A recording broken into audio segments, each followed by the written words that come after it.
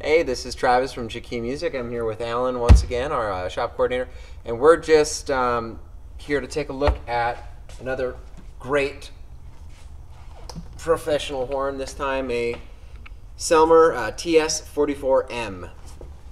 Um, this is basically uh, what you would call a uh, an introductory pro horn. So it's kind of uh, in terms of pricing and features, it's on the um, more affordable side of the spectrum that is pro and custom horns. Um, I'll try and show you the inside here. It's a uh, really nice padded case. Um, it's a, in fact, a BAM uh, backpack case. So the straps are in here. It's uh, velcroed in there. You can kind of see. And uh, we've got a nice, nice front zipper pocket here. Everything's all padded nicely. Um, the let's get around here to get some of this stuff out of here to show off. Go and hold this for me, Alan. Alan's gonna hold this. Be a good, good coworker for me. Um, so just to show you what comes in it, comes with the uh, custom, custom uh, Paris neck.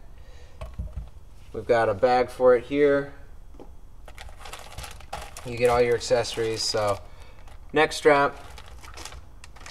There's a case strap if you want to carry it slung over your shoulder.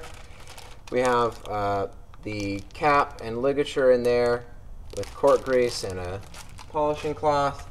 And then it actually comes with a um, Selmer Paris mouthpiece as well, which, there we go, try and get that in focus.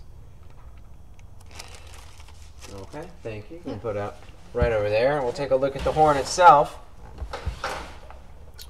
Take the cap off. So, as you may be able to tell, this is not your standard uh, look for a sax, right? Um, the M in the TS44M stands for matte um, because this is a really beautiful matte finish. It's like a brushed kind of lacquer, but it's um, it's done really well.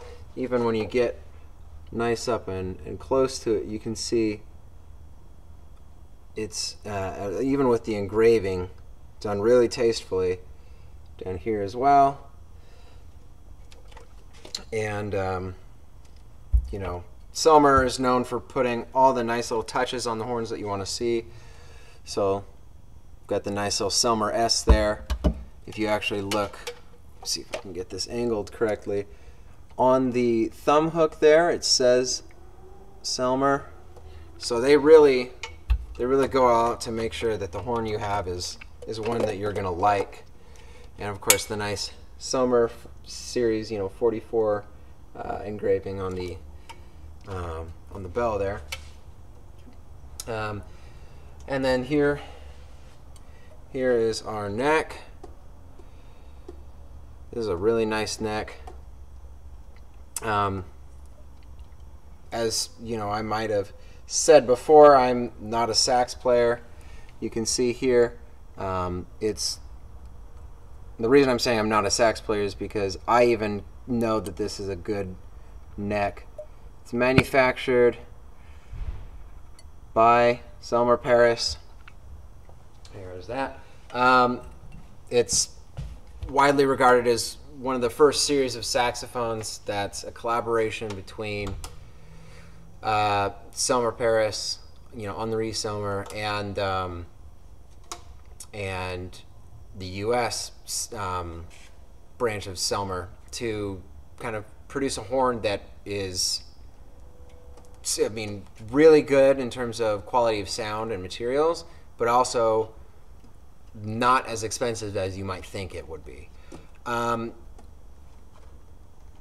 especially when you're comparing it to something like a reference 54 or a series 3 if you're familiar with those horns as well um, that's definitely going to be something that's on the more expensive side um, of the professional scale. Uh, just a couple things that I didn't quite mention before. It comes with um, blue steeled springs for great response and Pisoni uh, Pro pads, which are fantastic, um, fantastic leather pads. It's got a warm, rich sound, which is perfect for classical or jazz. Um, so it's quite a you know versatile horn. And then um, it's because it's on the more affordable side of the professional, you know, the introductory professional horns. Um, it might not be necessarily the best pick for someone who's like, say, a recording artist or something like that.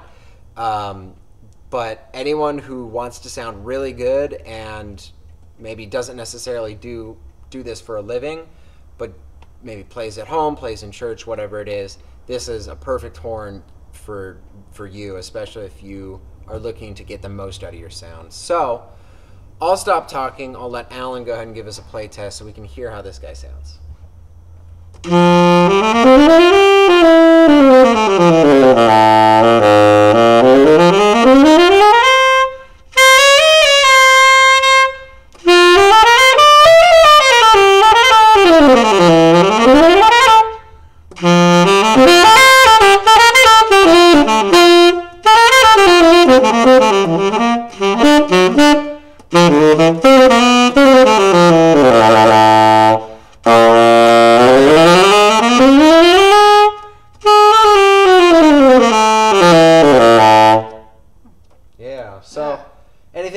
Say about how it feels, how it sounds? It's got a nice uh, fingerboard. I really like it. Uh, similar to the, um, you know, of course, the Mark Six.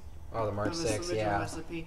But um, it's got a nice warm sound, but also it can be uh, very, very versatile, where you can actually uh, punch the sound and make it.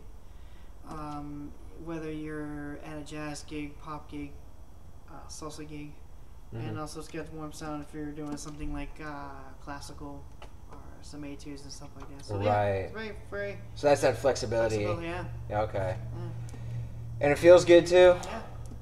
Like Sweet. Well, um, thank you so much for giving us a Yeah. play test on that. Sounds fantastic. Um, hope you guys enjoyed watching this video. Um, of course, let us know if you have any other, you know, questions or or uh, observations about the instrument um, by, you know, either contacting us directly, leaving um, leaving a comment below, whatever it is. Um, you know, please feel free to like, subscribe, all that good stuff that everyone always tells you to do on YouTube. Um, if you're watching this on our Facebook instead of our YouTube, head on over there. Um, check out what we have. We are featuring some videos on uh, on our social media, but for the most part, um, we're uploading everything to YouTube. So, uh, with that, once again, thank you so much for watching. Hope you enjoyed, and uh, we'll see you guys next time. Thanks.